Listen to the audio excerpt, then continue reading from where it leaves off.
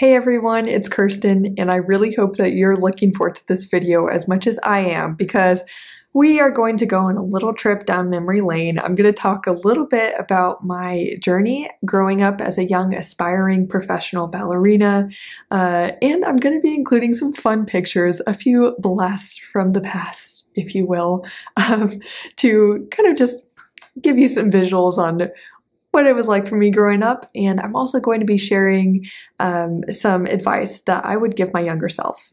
So I'm sure that this will really connect with those of you who are currently in the aspiring phase towards becoming professional dancers. If that is your pursuit in life, this will definitely help you. And hey, even if you are currently a professional dancer, we all have further to go in our journey. And so I think you will find some really helpful insights in this video. Now, if you have no idea who I am, if you're brand new, welcome. I'm so glad you're here. My name is Kirsten, and I am a former professional dancer, and I currently work as a mindset coach, helping ballet dancers all over the world through online private coaching overcome deep insecurities and struggles within their ballet journey. So I can also help them reform their mindset and give them the strategies to overcome these struggles and become their personal best. I love drawing out people's potential and holding them to it so that they can create success on their own terms. Before we get into the rest of the video, I also wanted to say that if you haven't heard yet, the Come Back Stronger course, which is the online program I'm creating for injured dancers to make a full and successful recovery, is launching officially on Wednesday, November 13th. I'm so excited about this because, again, if you haven't heard, where where have you been? Where have you been on my channel? but if you haven't heard about this, it's the online program I've specifically designed to help injured dancers to walk them through the recovery process so that they can have the strategies and the community support to overcome the biggest challenges that dancers face in recovery and the biggest confusions. I clear up that confusion. I give you the support and the guidance that you need to come through the recovery process strong and with confidence knowing that you are doing ev- everything you can to make, make a successful recovery. I give all that to you in this program. So I can't wait for the launch. I'm so excited about it.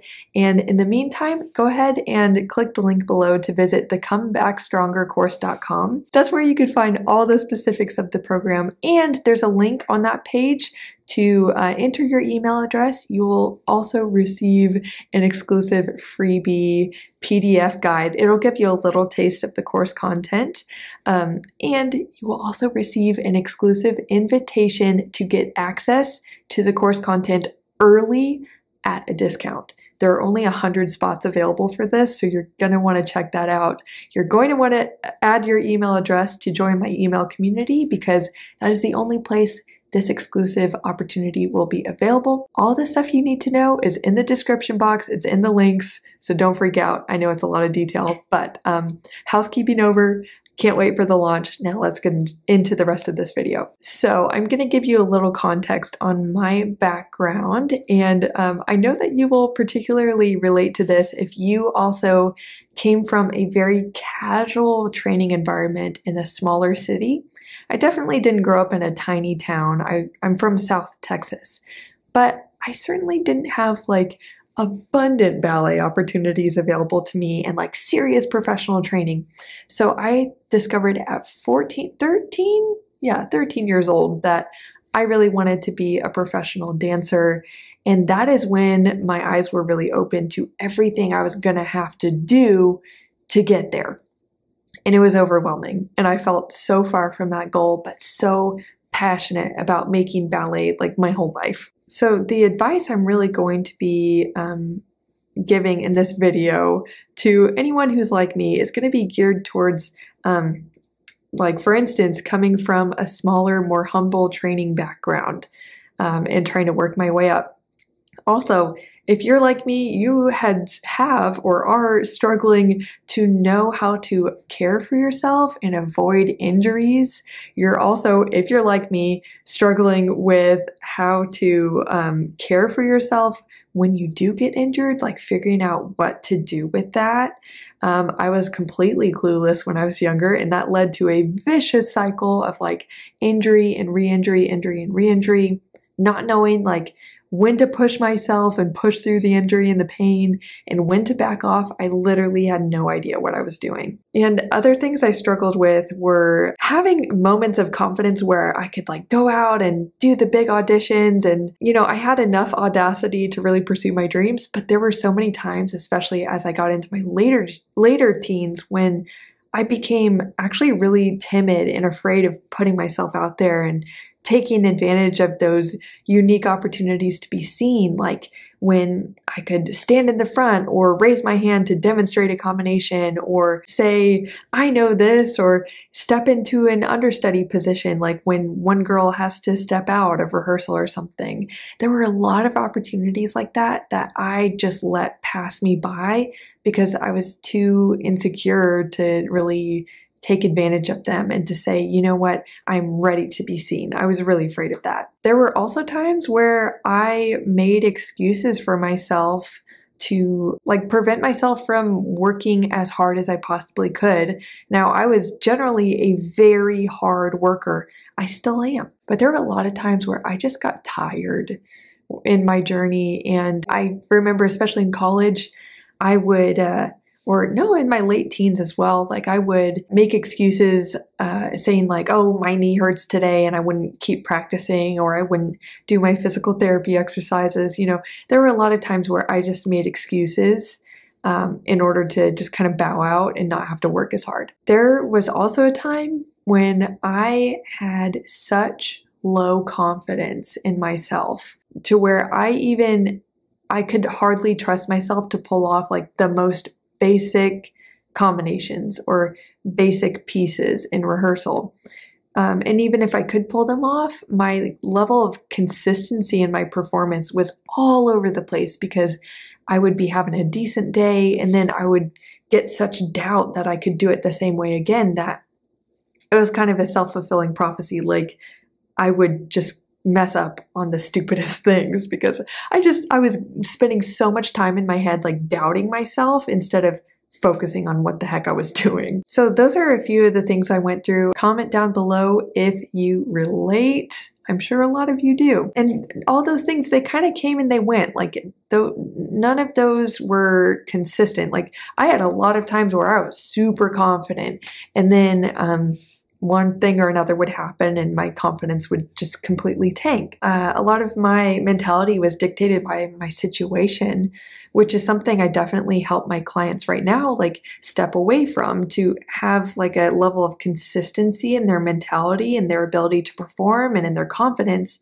instead of letting their confidence um, and level ability to perform like be completely dictated by the situation. A lot of that ability to perform consistently and to feel consistently good is coming from your noggin and like what you put your confidence in, not necessarily like your situation. Okay, the way I'm going to structure the rest of this video is that I'm going to tell you some things that I'm actually really proud of myself for, and then I'm going to talk to you about some like honest regrets I have. I think it's okay to have regrets. I know that's like unpopular these days. For me, I like to acknowledge how I could have done things better. And maybe the word regret has a very different connotation to you than it does to me. For me, it's not like this huge weight or burden I carry around on me all the time, like this deep regret that I could have done things differently and I didn't, and so my life is ruined. That's not how I think about it. When I talk about regrets, I just mean here's some ways that if I could go back and do it again, I would do this differently. I would change this. And then after I talk about those two things, what I'm proud of, what I kind of regret, then I'm going to break down kind of through that context what advice I would give my younger self. So the first thing I'm really proud of is that I worked my way up from a really small studio and I'm really proud of that because being um, on track to becoming a professional dancer was just not something that was very normal or even like blatantly encouraged in my studio growing up. And so I was totally oblivious to how the whole process worked. I literally had no idea until I just was talking to one friend who was talking about how she got into Houston Ballet Academy. And I was like, I wish I could get in. How did you get in? And she was like, I auditioned. My whole journey was kind of just like figuring out the next step. But I did know that the goal was meaningful enough for me to work towards, even when I didn't have total clarity on like how the whole process worked. So I'm proud of myself for figuring things out and for kind of making my own way. I'm also proud that I did really devote myself to research. I would read all the magazines. Um, I started watching YouTube videos when that became popular in my teenage years. Um, I did as much research as I possibly could. The other thing I'm proud of is that when I did research good year round programs and summer programs and all this stuff, and I was figuring it all out, um, I'm proud of the fact that I, my twin sister was also pursuing a career with me.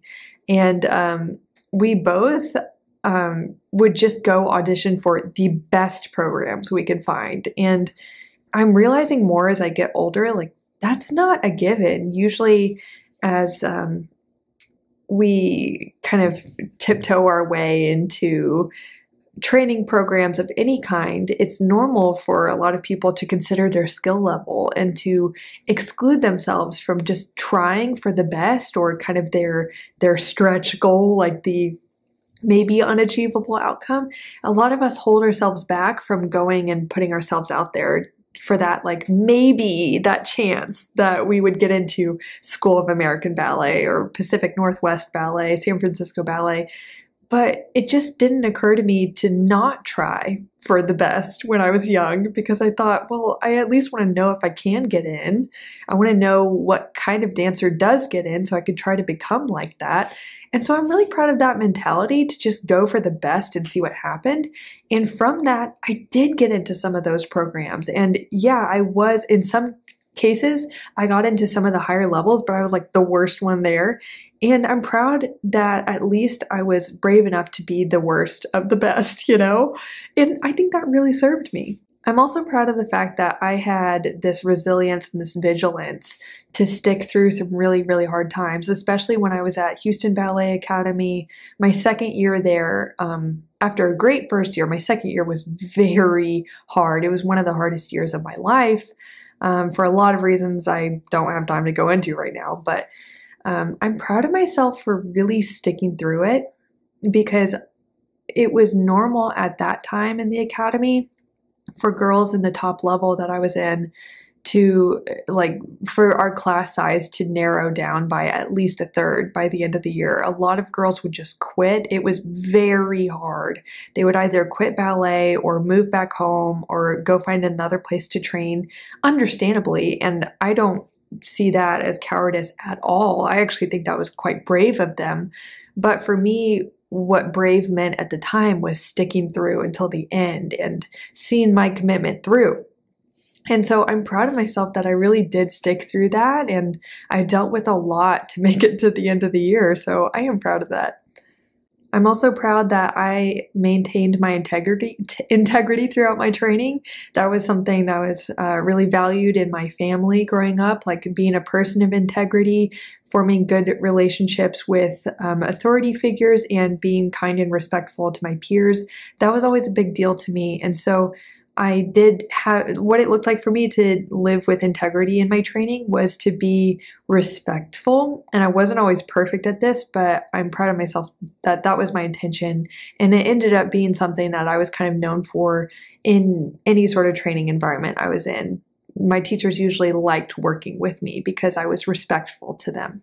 But on the other side of that coin, I'm really proud that I stuck up for myself when I really needed to because there were some times when teachers really did not treat me uh, as they should. And it wasn't just about me. Like some of the ways that I was treated in really serious training environments, I believe should not be should not be allowed. I'll just say that. I don't want to say something too extreme, but it wasn't right. And I'm proud of myself that I did stand up for myself in those moments.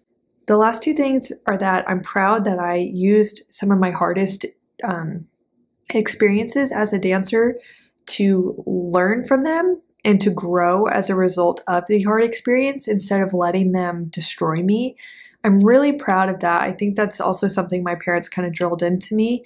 And I'm really grateful that they did because it served me a lot. And I'm also proud that, um, like, as an example, my sister and I started this YouTube channel because something I like that I did and that I still do is that whenever I learn something good, I can be very evangelistic about it. I want to share what I know to help other people. And some of the biggest things I've ever learned that I think are helpful have come from some of my biggest challenges in life. So I'm proud that I've not only learned to use hard experiences to grow for myself, but I don't usually just stop at letting it grow me. I usually want to share that growth with other people. So maybe someone else who's going through the same thing could get support that they need. And the last thing is that I'm really proud of my artistry. That's something I valued from a young age. And that is something I think I did learn from my uh, training when I was really young. Even though it wasn't like pre professional, awesome training, I had to ask for more opportunities. I'm glad that it was at least available to me to dance almost every day or sometimes every day and I got to perform. I did have plenty of opportunities. I don't want to make it seem like I had nothing, but I always asked for more instead of just accepting what I did have. So I'm proud of that. And I would say that I'm, I'm proud of my focus on growing my artistry throughout all of my training. That's something a lot of dancers forget. They're just trying to be perfect technically. And I remember that, well, still, this is kind of how I feel. Um, being an artist has always been something that brings me more joy in my dancing. If I focus only on just being a perfect dancer, or like technically or just in my physique or whatever i kind of lose that joy a little bit. And so i'm pl- i'm proud that i've always invested in becoming a better artist. Now here are some uh, just a couple regrets. Some things that if i could go back and do it differently i would do it differently. And i think some of you guys who are kind of in that transitional part of your journey now maybe transitioning from trading into one day a professional career you can really learn from these regrets so the first thing I regret is not putting myself out there more for opportunities like uh, for instance, when one dancer is missing from a rehearsal or they're injured or they have to step out, I re- regret not being the kind of dancer who would just automatically raise their hand and say, I can fill in for that part, or being that dancer who like when a teacher at a summer program or an audition or something would be like, Who can show this combination? I regret not well, more often being that dancer who's like, yes, me. I watched a lot of other dancers in my hesitation raise their hand and get opportunities and get opportunities to understudy. And then they got picked for the show, which led to impressing the director, which led to a contract. I had to learn that they, the girl who raised her hand and got the opportunity, it's not because she's necessarily special. No one called on her she raised her hand, probably feeling the exact same fear that I did in that moment, but she was willing to go try anyway and risk making a couple mistakes for the chance to maybe show what she can do right.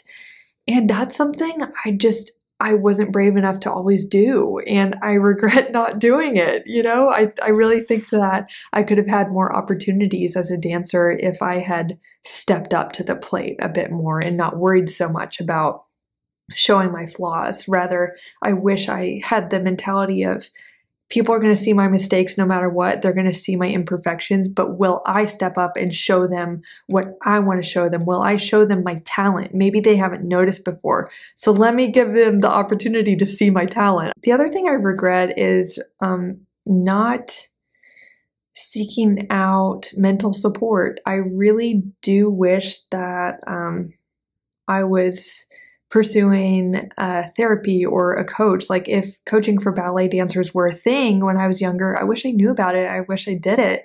Um, now I can't say that's like a real regret because honestly, I think I'm one of the first people to become a coach, a mindset coach for ballet dancers. There are health coaches. That's awesome. That is super needed.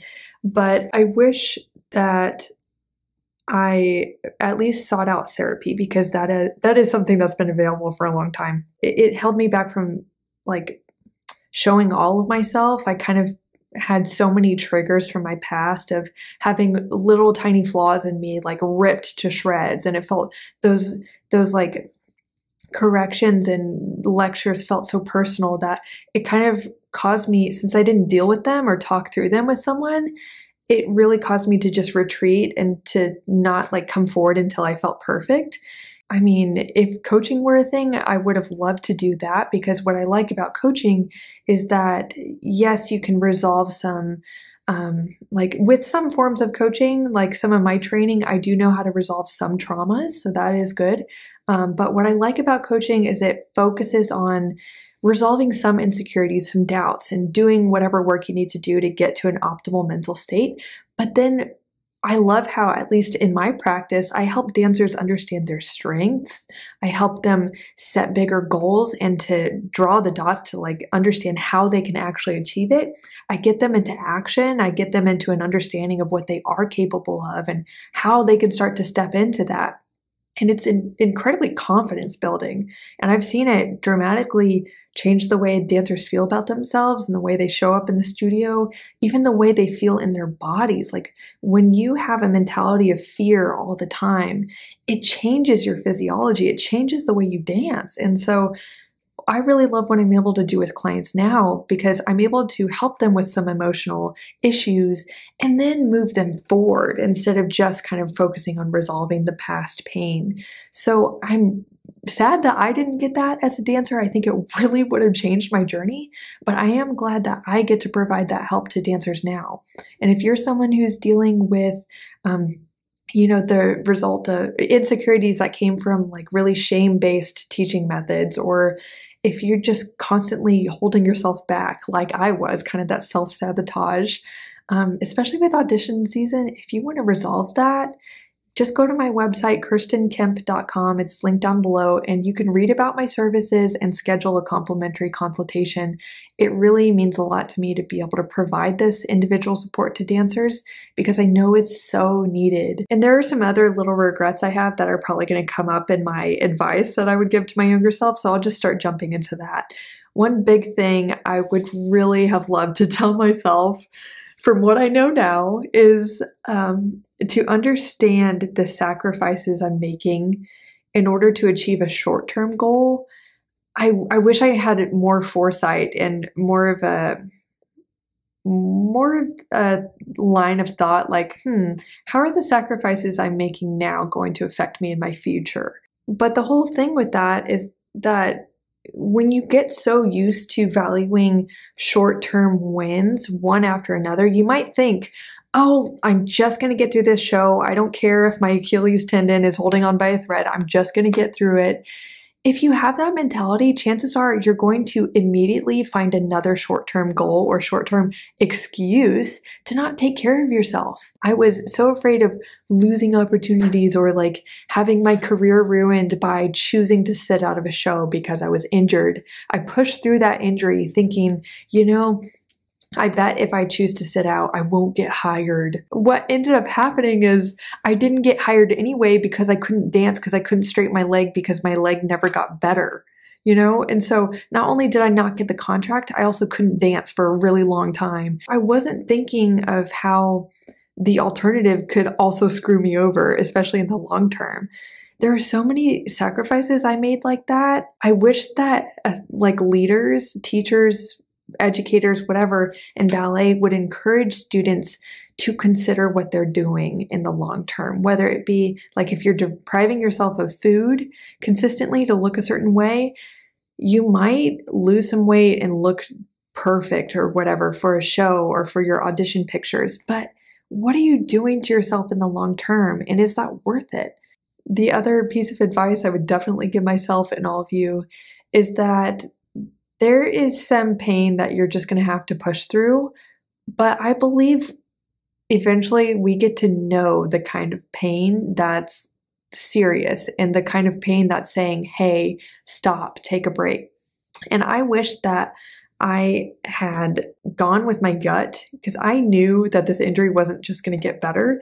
The kind of trend I'd seen is just be tough enough to push through the pain and your injuries will go away and you'll be successful. That's a bunch of baloney. We need to be considering our health and we need to get to know the signs our body is giving us. I would say get to know those pain signals in the Come Back Stronger course, the online program for injured dancers, walking them through the recovery process. Um, that program that I'm developing and launching this November 13th, um, it does include a lot of guidance about understanding your body's pain signals, what they tend to mean, creating your own pain scale, so you can have a decision making process to kind of know and discern like when is it time to sit out? When is it time to push? How far is pushing too far?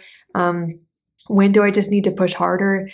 There can be a lot of confusion for dancers around that. So, in that course, I do really clear those things up. But I'd say for those of you who aren't injured right now and you don't know the course, or you're not going to enroll in the course right now, get to know your body's different pain signals. And um, the next point that kind of connects to this point is when you are really hurting and you're clearly injured, don't just put some ice on it and take some ibuprofen and hope that your pain goes away. And then think that when your pain does go away, you're better.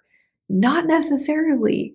I wish I did this, and I want to tell all you guys um, that you need to take those pain signals as a sign to get stronger in specific ways, to maybe correct some misalignments in your body, to strengthen your technique, um, and to protect yourself and your joints from future injury. Getting stronger really is the answer, not just waiting until your pain goes away. We are not healed from injury when the pain is gone. We're healed when we get strong enough to prevent that injury from happening over and over and over again. You have to stop the cycle before it happens. Don't just think that each injury is like an isolated incident and it's just not going to happen again. Moving away from some injury related advice, I would say to my younger self that the people that are going to hurt you the most and cause you the most, like the biggest challenges in your journey are the people that you really have to thank for what you're doing in life now and the ways that you've grown and your values, you know? Even though I would say I do not agree with some of the ways I was treated as a younger dancer. I can disagree and also say thank you to those people and those challenges for making me the person I am today. And so because I went through that and I went through it alone, I saw the opportunity for some for like me to step up and be that person who supports dancers and be that person who creates a program for injured dancers to walk them through that super painful and confusing process I went through alone. So I am able to look back on all those challenges and say, thank you. I'm glad that happened, even though it was terrible at the time. So I would say to you guys, if you're going through a struggle right now, you might not see the payoff for years. And that is hard, but it's okay. But do hold out the faith that there's something valuable that this pain is teaching you that the good times couldn't. And you can use that for your future and to build a future for yourself instead of just becoming a victim to what happened to you. I would also say to my younger self be the strongest you, not just the skinniest you. You see, when I was a younger teenager, YouTube was just becoming popular and I didn't like there was no Claudia Dean at that point giving technique tips. There was no Kathryn Morgan on YouTube. She was in her career at that time. There weren't so many resources online for me to watch professional dancers do what they did um, to watch them dance and to analyze their technique or to learn from people who are experts in the field. There wasn't really that. And so I would just look at pictures of dancers in from Russia, like in Pointe Magazine or something like that, and they would be incredibly thin. And so I just saw these pictures and I thought, well, I guess in order to be a professional, I need to look like them. Meanwhile, I wasn't acknowledging the differences in my body and their body just naturally, and I wasn't focusing on becoming necessarily a stronger dancer. I was focused on the tricks and what I looked like. And so I would tell myself and you guys who are younger focus on becoming the strongest, most lovely you, not a copycat of someone else who's 10 years older than you with a different set of genes, a different bone structure. Don't focus on just looking like them. Dance like your personal best, not like their highlight reel and their picture in a magazine. One of the biggest points that I want to share with you guys, and I think it's definitely my favorite, is that I would tell myself to not be afraid to take risks in exchange for growth and in, in exchange for big opportunities. What I mean by that is so many people like myself, we can be so afraid to step out and to show all of ourselves, including the few mistakes that we're probably going to make. We hold ourselves back and we wait until we're perfect to just put ourselves out there and raise our hand and say, Yes, I know the combination. I can step into that part, whatever it is. And like I was sharing earlier, I now think, man, I was just as prepared and probably feeling the same as that dancer that raised their hand. But I was too scared to raise my hand. So I would tell myself, be brave enough to show off your talent, knowing that there are going to be a couple mistakes mis- mixed in, and that's okay. But will you be the one that's brave enough to show your talent? Or will you shrink back because you're too afraid of showing your flaws. We've all got flaws, okay? So you have to be the one that's brave enough to show all of you, including the wonderful parts of you in your dancing. You have to bring that to people. Don't wait to be that one that's scouted and seen from the back of the room and like pulled to the front to show your talent. That day almost never comes for most of us. So I would say just go out there, be bold, be brave enough, and you will get the opportunities that um, you want. Alright guys, so that is it for this video. Thank you so much for watching. Again, I'll just remind you that the Come Back Stronger course launches on Wednesday, November 13th. And if you want to be one of the 100 dancers that will get early access to the course curriculum starting on Tuesday, uh, November 5th through Tuesday, uh, November 12th, go ahead and follow the link down below enter your email address, you will not only get an email with a coupon code, but you'll also get my free PDF guide on five ways dancers go wrong in the recovery process and how to avoid these mistakes. So you're going to get a taste of the course content plus a coupon code to take advantage of that early access promotion I'll be running. All right, that's it though. I look forward to seeing you guys in next week's video and I want to thank you again for watching. Bye.